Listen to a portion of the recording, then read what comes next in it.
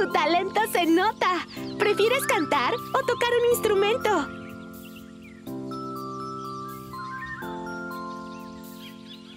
Pronto conocerás la magia de Enchantimals.